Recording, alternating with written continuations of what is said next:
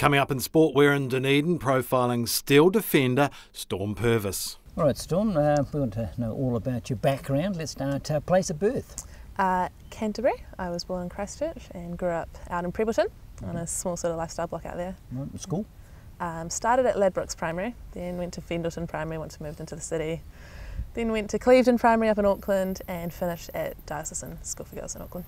So mum and dad moved around a bit Yeah, work? I mean I lived in about 11 different houses growing up, so we, we moved a lot, but yeah, we are following dad for his work. and Which is what? Um, he is a bank executive, so he works with Heartland Bank at the moment, um, starting a new project, trying to get a bank up and running. It's a bit crazy in these times, you'd think, but yeah, no, he loves it. So. He works with the bank and mum works with horses. Yeah, yeah. Um, my sister's a rider, so she's been doing dressage all her life, and mum's passion as well. So mum's sort of an unofficial groom, oh. following her around. So. And she's yeah. an older sister.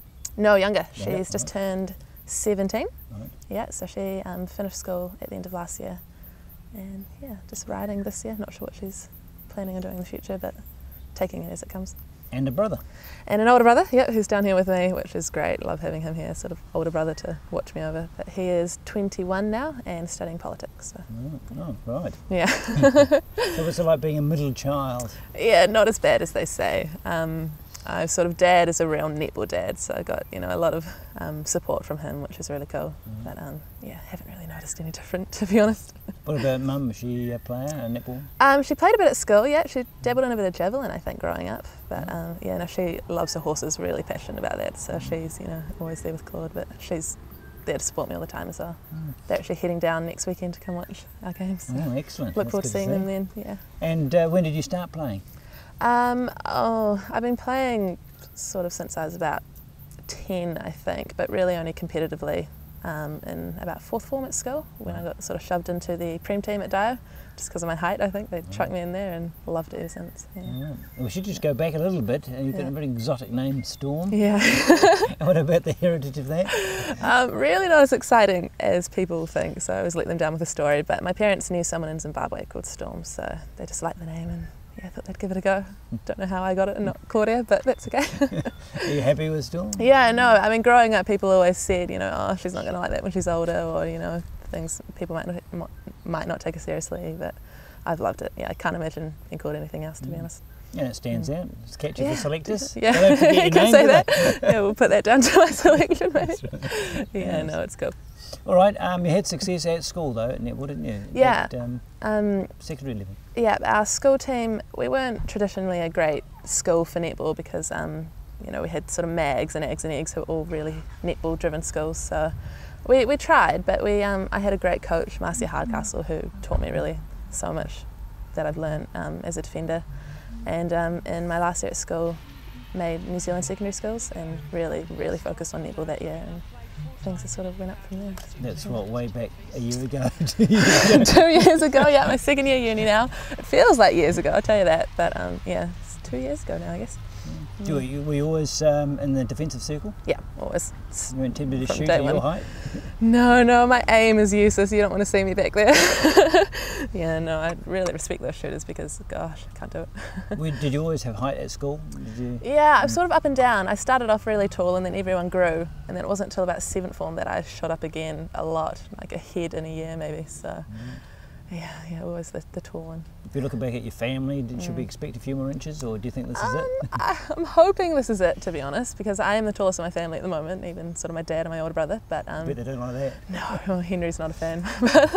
yeah, no, I always um, two, two tall grandfathers, so they're mm. both taller than me. So I'm guessing that's where it comes from. But mm. other than that, yeah. Mm. All right, uh, success at secondary school opened up some other doors mm-hmm. for you, mm-hmm. age group. Yeah, um, I played sort of Auckland age group reps from about under 15, and that was all recognised through school. And um, I played club under Te Aroha Keenan, who used to mm. coach the Mystics and has done a bit with New Zealand in 21. And um, she sort of got me out there at, at um, national selections and made New Zealand 21s um, for the first time last year, but have been a squad member for a few years now and um, Janine Southby is the coach of 21s. That's quite handy. Yeah, yeah, no, it's been really great. So she's sort of been a huge support person for me over the past couple of years. So if you continue with that side, you've got a World Tournament? Yeah, we've got World Cup next year mm. in Scotland, so fingers crossed for that. We've been um, on sort of a three to four year program trying to get girls ready for that um, next year, and we're really hoping to take that out. So. And you could play for that team for another two or three Yeah, years, could you? this year, next year, and the year after. But um, yeah, it feels like I've been you know, under 21 for so long now. But yeah, yeah, no, that should be good. All right, um, I think we've touched on this Steel connection, haven't we? with Yeah, uh, yeah, Janine. With Janine, yeah. Tell us about that conversation, how it came about. It was such a surprise, really, because I was not expecting this for another couple of years. Was when I was really aiming for it. But towards the end of last year, I got a phone call from Janine, and I was thinking, oh, you know, we've just got off the phone about 21s. What does she want now? and I answered, said, look, putting my other hat on. Um, as you know, I'm the steel coach, and yeah, we're looking at signing you. And I think I screamed on the phone. I just was not expecting it at all, and really stoked. Have you played Yeah. much NPC level? Um, I have never played for an NPC top grade team before because I wanted to play for Otago last year, but um, just with uni and so much netball, and I got a little bit injured towards the beginning of the year, they decided to um, make me unavailable just to you know have that time to catch up on uni and get my body back into um, you know into 100%. So and before that, I played for Auckland NPC second grade, and or years before that. And so yeah, never played So that's top grade leap. so it's a bit of a jump. yeah, but 21s last year for the National League. Um, we had a great team, so we had Tapaya in there and Shannon Francois, so I played alongside them all year last That year, helped. so that helped Yeah, definitely, yeah. definitely. Yeah. And what were first impressions, say, pre-season of, this level of netball? Yeah, a bit of a shock. Um, the conditioning alone, I mean, training twice or three times a day, you know, such a shock to the system. But um, the girls are all really supportive and they knew a couple of young ones in there that they needed to, you know, welcome to the level. So just ease into it and, yeah, loving it. What about the speed? Speed. quicker than you used to? Yeah, but once you're actually out there, you just don't notice it because everything just happens so quickly. You just, you know, do what you can. But um, at first, just watching from the sideline, I was thinking, oh my gosh, how am I going to get out there and control this? But once you're out there, I mean, you just don't think of anything other than that ball, and yeah, it just comes at you. Well, you caught everyone's attention, obviously, with that outstanding win against the Yes. Magic, coming on and playing so well. Um, before the game started, did you Mm. think you were going to get caught on? They had mentioned, you know, just to be constantly ready because you never know. Um, Cheryl coming out of injury as well, just how she would um, respond to that, and just you know, I had been training with Demelza a lot, so they said, you know, we are looking at you for that option. So I was a little bit nervous. Didn't actually think I would get on, but um, when they made the call, I was just firing. I was so ready to get out there. So yeah, really excited. Not intimidated by who was in the circle that you I- were marking? I played Irene at Tauranga um, at the pre-season tournament, and that was when I really was intimidated. But I thought, look, I can't, I can't, you know, treat her any differently to another shoot out there. I mean, I train against Donna Wilkins and Jodie Brown, so Mm. they're no different. That's right. So, you, yeah, in this competition, you're coming against that every week. Exactly. Yeah. you can't really treat them any differently. So At the moment, they're using you as the impact player, as a Yeah. player to come and make a difference. Um, you'd like to force your way to, to a start? Definitely, I mean, it would be awesome to in my first year to get a starting spot. But um, loving coming off the bench really at the moment and just being able to work in there with Demelza and try and make that impact. So that's that's working well at the moment. But who knows? And she's played a lot of netball too, so Yeah. that would be useful. Yeah, she is amazing. I mean, she's such an inspiration to me at the moment. Um, as you probably notice, her talk on court is incredible, and she's so And knowledgeable. off. And off, and off, yeah. So yeah, she's been great, and um, really great just to chat to about anything. And I've learned so much off her already. So what sort of aspects of the game do you think you need to improve to be consistent at this level? um, something I keep looking at is my rebound ability, um, and then also I don't know if you noticed, but I'm getting called a lot. The umpires aren't a big fan of me, so I'm trying to clean up my game a little bit because I'm a little bit scrappy. Um, You're not on your own there, though. Yeah, no, I know it is calls at the crazy. yeah, but um, yeah, that's definitely something I want to improve on. And um, we've talked about my attacking play because being a defender all my life, you know, Mm. trying to get that ball when we get a turnover out of that area of court has been a bit difficult for me. So trying to work on that. With that uh, constant stream of penalties, like against the, The Tactix, for instance, yeah. do you get a chance to absorb what you've done wrong on court? I mean, you try to, but at the same time, you can't dwell on it because this, you can't change it. You can't make the umpire calls. Um, can't argue with them. So you just have to, you know, to see if you can come off the player and try again next time. But yeah, it does get a bit frustrating. And uh, spirit in the team must be good. Two wins out of Mm. three when Mm. we speak to you here. I don't know what the record is by the time we play it out, but I'm sure it keeps Yeah. getting better. yeah. So confidence high. Yeah, loving it. Um, the girls are just always buzzing off a win. I mean, we were hurting after our loss against the Pulse last week, so we knew to come out firing, and the vibe in the camp is awesome. I mean, Demelza and Donna and Jodie's such a great captain, and they're always, you know, lifting that spirit. And yeah, I was talking to Nat last week, and she was Mm-hmm. saying that just uh, picking yourself up after that magic Yeah. game, and the need to do that regularly is one of the big challenges of this competition. definitely, definitely. And um, coming from teams like last year where we sort of won consistently, coming to a team that is may lose some games and being able to lift yourself out of that's been something new for some of us. But um, yeah, no, we just knew that we had to come up firing, and I think we did that last night. So. And it's a fact of life in ANZ. Yeah, exactly. Not exactly. through unbeaten. And it's got to win. so um, stra- like so many upsets so far. I mean, only round three, and uh, you know the table is how no one would have picked it. I think so. It's going to be a good competition. with a long way to A go. long way to go. Three down, ten to go at least. So yeah, it's been good.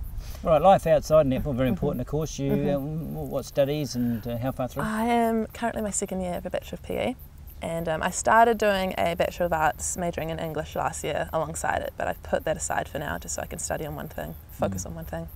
And um, yeah, no. One other that. thing other than netball. One other thing, yeah, yeah, but only part time this year. Struggled a bit last year with balancing netball and um, uni, so looked at just doing two papers this semester, and it's worked out. With a view to doing what with that degree? Do you think? Um, I would love to do something along the lines of sports journalism or broadcasting. Um, yeah, media's always been a real passion of mine, Mm. so something along those lines. At the moment, I'm not too sure, but got a bit of time, I hope. I think you've got a lot of time. uh, okay, um, are you living with netball people or? No, I'm actually living with um, five other girls who I all met at Unicol last year, and um, actually one of them I went to school with since I was about 10, so it's great having her down here with me as well.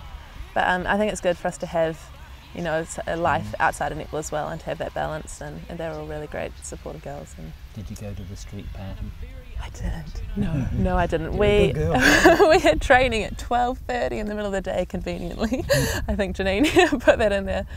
Um, yeah, so not really uh, my kind of thing. It looked a bit crazy, to be honest. Mm. But you know, my flatmates went and said it was a great time. But I think Demels actually went down to have a look and said it was a laugh. But yeah, But life, student life here, uh, Yeah, in? It's a long way from home. yeah, it's a long way from home. But um, Dad is working all over the show as it is, so I see him almost every week as it is at the moment. And of course, having my brother here and a whole lot of school friends, it doesn't really feel too different, to be honest. And Mm. um, student life's been awesome, and I've been able to find that balance between you know having a bit of fun and then having that focus.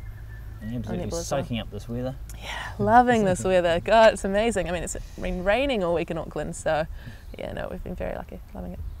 So, um, do you think netball full time will, will sort of take over for the next few years, given your age? Yeah, I mean, I would still like to study part time as it is. Um, next year, I mean, next semester, I'm actually looking at going back to full time. So, I mean, the season is really just that whole first semester. So, I mean, we'll still keep the study going and see what happens from there, see how I handle it. Got exams coming up soon, so fingers crossed for those. And you never know how your body's going to react to all the work. Yeah, exactly. Yeah, that's nothing. Like last year, it was a bit of a shock to our system, trying to do eight papers and still playing for three, three or four teams. Mm. So we're trying to monitor that this year. So far, so good. And when you want to get completely away from netball and do something uh, for yourself, Yeah. what would that be? Um, I'm really into my music. So I mean, you Playing, Chuck- singing? No, lis- listening. I wish I could play, but no, I'm a listener. Um, I've got a record, record player for my birthday last year, so really into. A record player. Yeah, call a record- record player at your age? yeah, no, record player.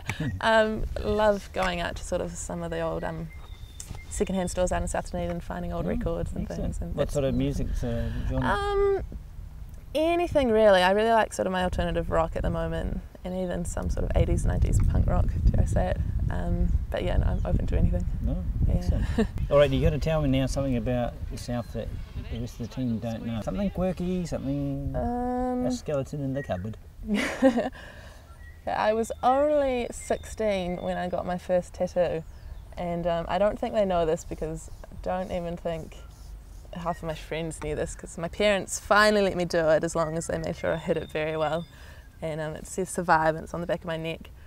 Um, yeah, so it's a little bit naughty doing that at only 16, but haven't looked back yet.